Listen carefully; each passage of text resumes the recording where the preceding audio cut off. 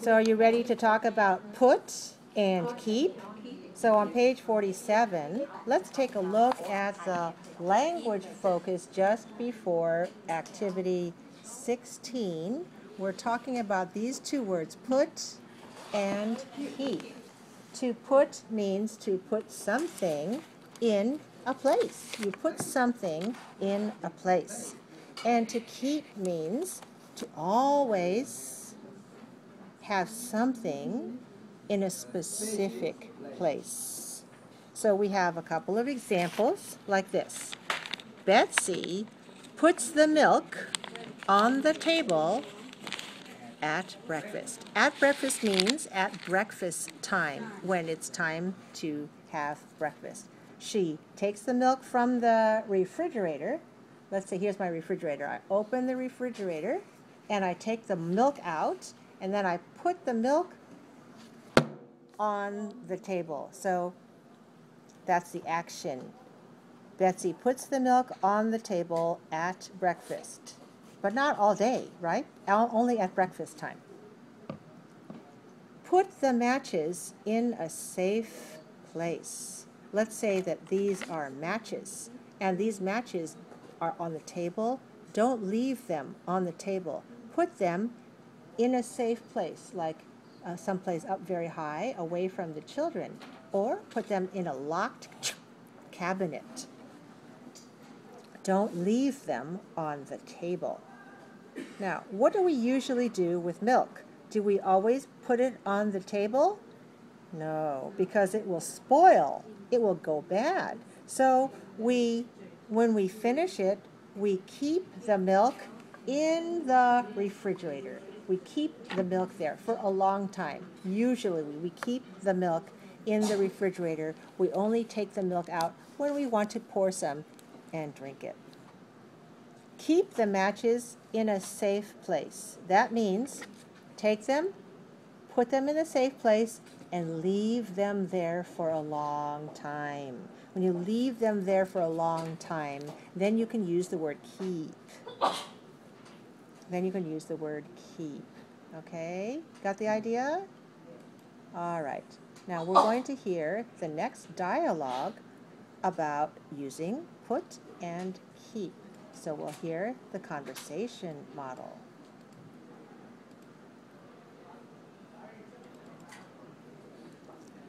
Activity 16, using put and keep. Conversation model. Betsy and her parents continue talking about safety. Read the conversation and underline, underline, put and keep. You keep the bleach in the cabinet under the sink. That's not safe. I can put it in the garage in a high cabinet. Yes, please keep it there. Okay, so Betsy and Grandma are talking about where to keep something if it's you need to keep it away from children. Let's practice. You keep the bleach. Mm-hmm. You keep the bleach in the cabinet under the sink. That's not safe. You keep the bleach in the cabinet under the sink. That's not safe. I can put it in the garage in a high cabinet. I can put it in the garage in a high cabinet. Yes, please keep it there. Yes, please keep it there. All right, let's role play. I'll be Betsy and you'll be Grandma. Okay. You keep the bleach in the cabinet under the sink. That's not safe.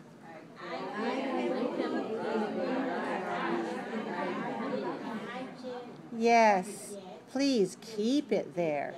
Please keep it there. That means keep it there for a long time. Okay, now you're Betsy, and you talk to me, and I'm older, so be nice.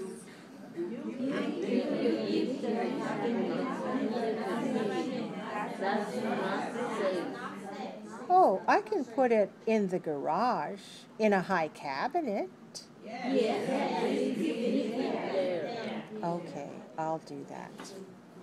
All right, now let's look at activity 17, using put or keep. And so we want to complete the sentences with one of these verbs. Remember, put is just put it one time, and keep means keep it for a long time, okay? So we need to pay attention to the verb put and keep, the two verbs here. So what do you put for number one? What do you write for number one? I put the diapers on the changing table this morning. That's what I have too. That's good. What do you have for number two? Always keep a toddler strapped in his high chair while he is eating. Good.